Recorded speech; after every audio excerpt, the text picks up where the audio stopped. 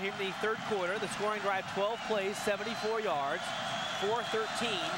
And Jared Siegel connects from 33 yards and he will kick it off. And a very high kick, but it will be returned.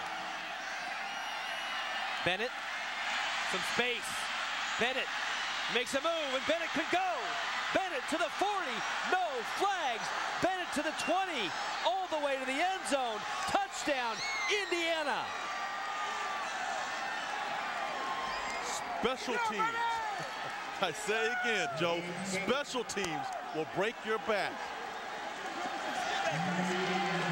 98 yards for Lance Bennett.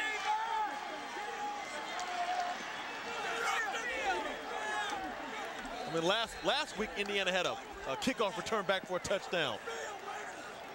Second week in a row, special teams have helped them win this win, win football games. They haven't won yet, but they're on their way. And Adam Rocker in for the extra point. He will handle the extra point. And that's a low liner, but it goes through. And Indiana, who looked like they had nothing going offensively. They haven't done hardly anything in the second half offensively. Get the kickoff return for a touchdown to go back up by 20. And I don't know if Jared can kick this ball out of the end zone, but if you have a kicker that can kick it out of the end zone, let him do it. You don't want an opportunity like this for this young man to return this ball. I mean, he, he breaks two tackles, and he's just running for daylight, Joe. I mean, he's just running for that end zone. Check out the Indiana sideline behind him. They are pumped. As this, if Indiana can hold on, Anthony, this would be one of the biggest wins for this program in many, many years. They're sitting there in uh, Bloomington knowing that Michigan came in here and lost last year.